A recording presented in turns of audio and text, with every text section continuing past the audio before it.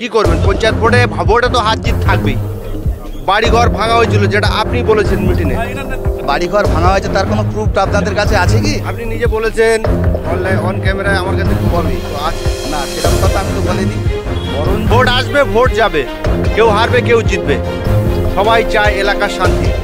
সেটা পাওয়া যাবে তো বিধানসভায় পঞ্চায়েতের পরে তিস্তার পঞ্চায়েতের পরে। বাড়িঘর ভাঙা হয়েছিল যেটা আপনি বলেছেন মিটিংয়ে। সেইটাকে কেমনভাবে ঠেকাবেন? কি করবেন? পঞ্চায়েত ভোটে ভোটে তো হাত জিত থাকবেই। না বাড়িঘর ভাঙা হয়েছে তার কোনো প্রুফ আপনাদের কাছে আছে কি? আপনি নিজে বলেছেন অনলাইন অন ক্যামেরায় আমার কাছে কবি তো আছে। না সেরকম কথা আমি তো বলিনি।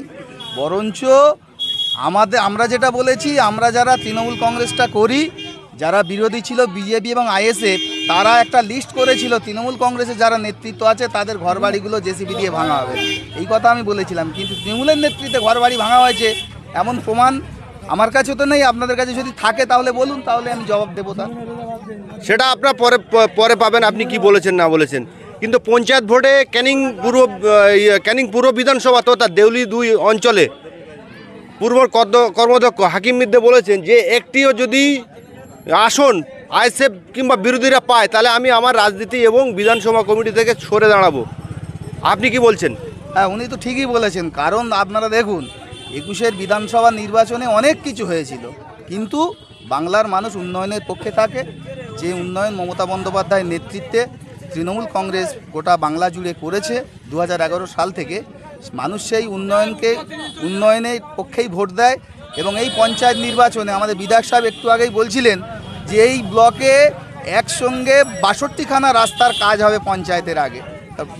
তাহলে একটা কথা যে পঞ্চায়েতে বিরোধীরা পাবে কেন সিট? মানুষ তো উন্নয়নের পক্ষে ভোট দেবে, তারা তো কিছুই করে না বিরোধীরা।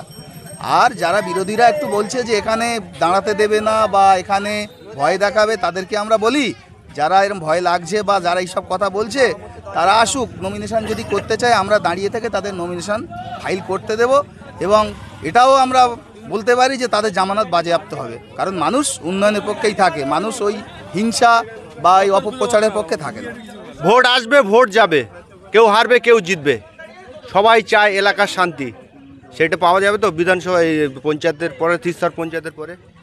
আচ্ছা দু হাজার এগারো সালে তৃণমূল কংগ্রেস যখন ক্ষমতায় আসে তখন কি কোনো জায়গায় অশান্তি হয়েছিল? চৌত্রিশ বছর বামফ্রন্ট যে কাজ করেছে মানুষ যদি মনে করতো গোটা বাংলা জুড়ে একটা রক্তগঙ্গা বয়ে যেত, কিন্তু আমাদের নেত্রী নির্দেশ দিয়েছেন, বদলা নয়, বদল চাই। এবং তিনি দিকে দিকে রবীন্দ্রসঙ্গীত বাজিয়েছেন। আর আমরা সেই দিদির আদর্শে চলি, আমরা শওকাত মোল্লার আদর্শে চলি, তৃণমূল কংগ্রেসের আদর্শে চলি, সুতরাং আমরা অশান্তি পছন্দ করি না। ভোট গণতান্ত্রিক পদ্ধতিতেই হবে এখানে কোনো অশান্তির জায়গা নেই বা অশান্তি হবে না। অনেক অনেক ধন্যবাদ।